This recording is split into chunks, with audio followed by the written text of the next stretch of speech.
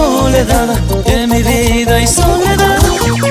Y con la humildad de siempre, seguimos adelante, los Caxas, Perú.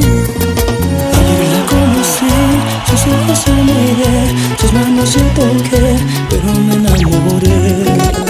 El tiempo y la distancia